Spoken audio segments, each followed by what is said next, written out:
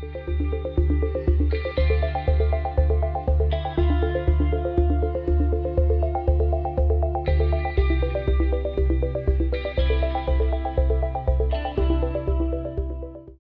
this is Zach with Worn & Wound, and today I'll be taking a look at the Triton Subphotique.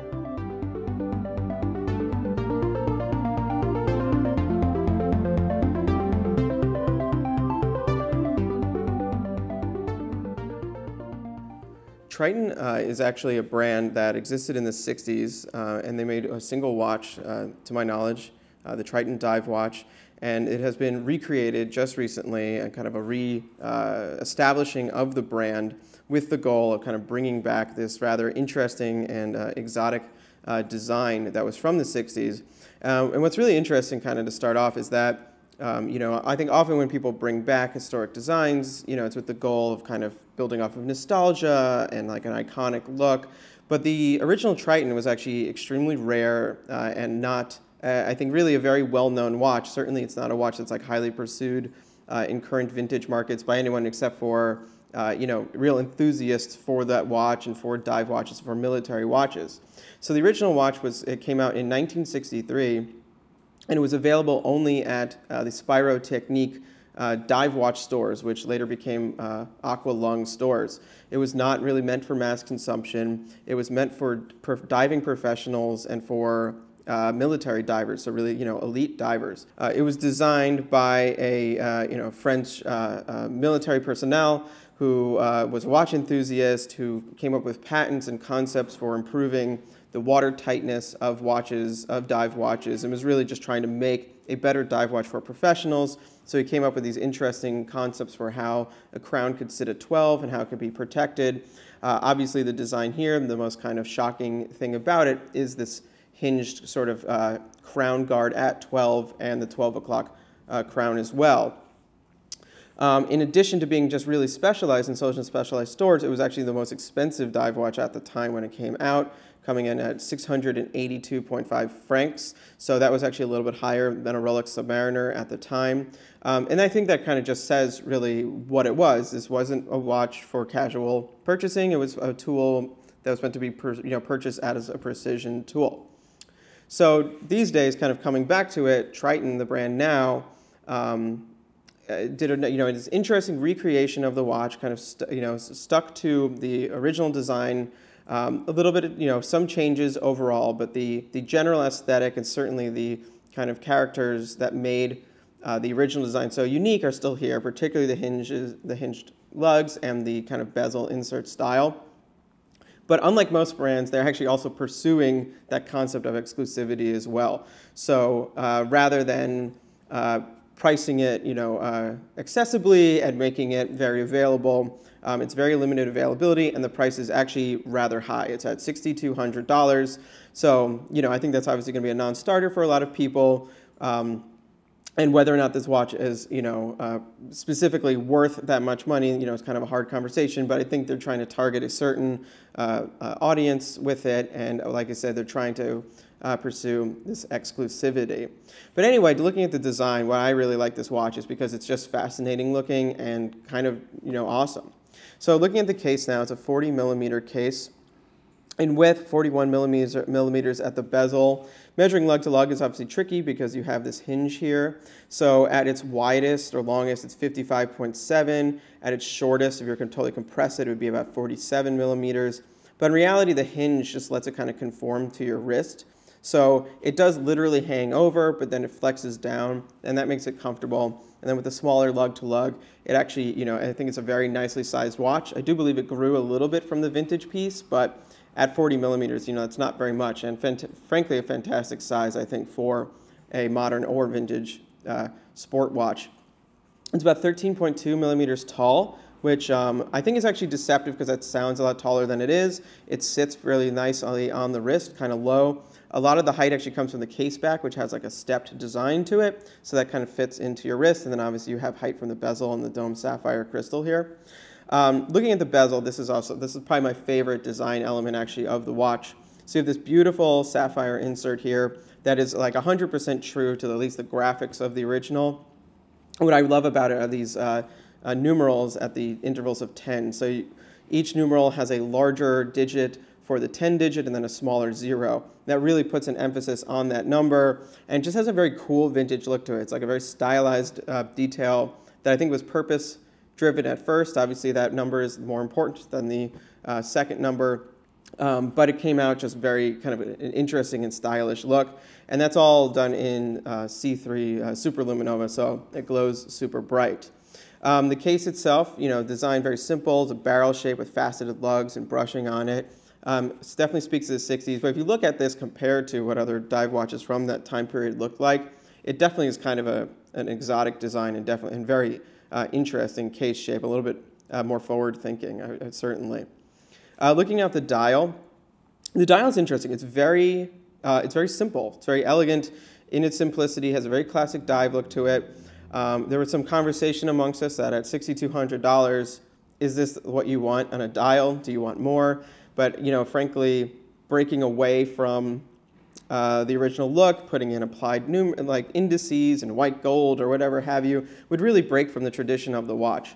As is, the design is a little bit different, but I, from having looked at the vintage, think they balanced that a little bit better here. So for you have for the main uh, index here, classic dive markings, circles for the hours, and rectangles at uh, three, uh, sorry, at 12, 6, and 9. At 3, you have a date window. One thing that's a nice difference, on the original, all those markers are actually pushed really far into the center. So there's a lot of space around them, which was kind of strange looking. Outer edge of the dial, then you just have a white index with um, individual minute and second marks and, and numerals at uh, intervals of five, so just adding to kind of legibility. Obviously, those main dive markings uh, jump out. They're loomed also with C3 superluminova. And when you look at them, you can see the C3 superluminova is kind of built up in a nice way. So they have a little bit of a bubble effect and they glow uh, extremely well. Looking at the date window at 3, this reveals actually something really cool here that you can see. The 7 is red on white. This features a roulette date wheel. So that means that the uh, odd numbers are red and the black and the even numbers are black that's something that you know you saw an occasion on vintage watches, uh, watches in the 60s, 70s. I think it's a really cool concept, a little more fun, a little bit more daring.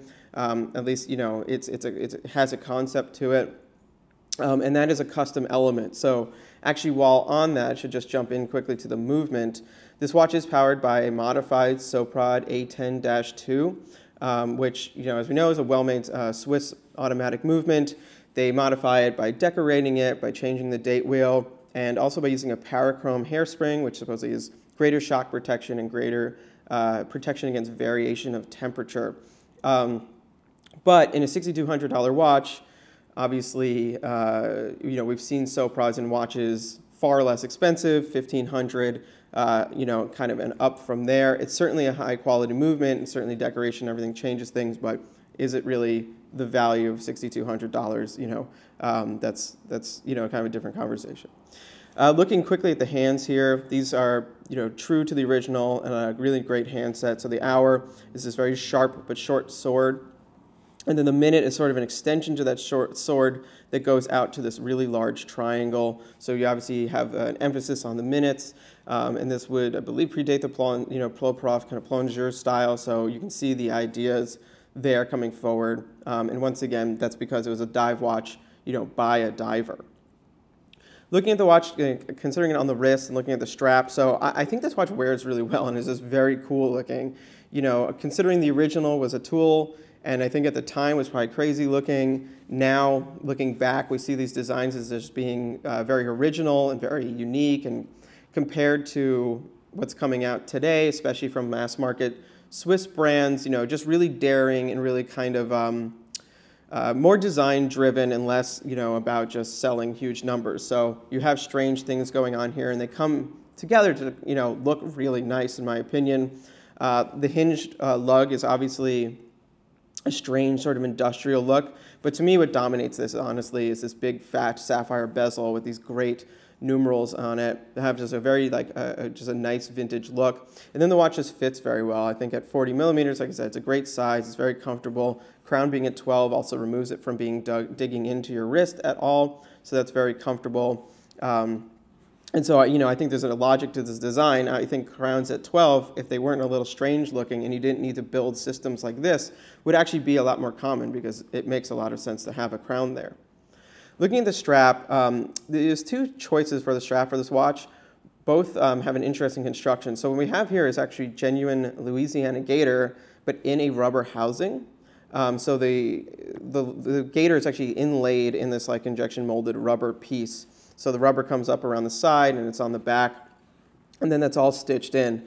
I don't specifically know the water, uh, you know, resistant properties of gator, so I don't know like if that's something you actually want to swim with, but certainly the uh, watch, uh, the rubberized elements do suggest that that is a, you know, a strap to take in the water. Um, the buckle is a really nicely executed buckle, um, custom buckle. Clearly, it's got some nice brushing on it, a little bit of polished bevel. It obviously matches uh, the case design here, or at least corresponds to it. So I think that's really nice, like how these lugs point in and then how that points out. So there's just like a, a correspondence between the two. So overall, you know, I think the Triton recreation, uh, it's a really well done watch. You know, it's beautiful, it's well made. Um, I think the, the execution is great. I like that they stayed really true to the original, but fine-tuned things to make it um, a little bit more modern. You know, a couple of actually details I definitely should have mentioned that I left out. This one does have a 500 meter, meter water resistance, so that's obviously uh, really high photo, um, high water resistance. That's actually where it gets its name from, subphotique, meaning below the photic zone, uh, 500 meters down, there's no light in the ocean, so that's what that's all about. And there's a helium escape valve at three, so implying, you know, you could do saturation diving with this. So those are features that obviously would not have been on the original and imply that this isn't just like an aesthetic recreation. You should take this diving if you want to kind of perhaps experience that vintage diving feel. I do not do that. I don't know if I recommend doing that, but you know, I think that's what they're kind of building into this. But at $6,200, this is a watch that's not going to be, you know, uh, you know, something you're going to run out and get. I think it's going to have a very uh, specific uh, kind of uh, customer base, people who knew about the original, are real dive watch enthusiasts, and frankly have the money to spare.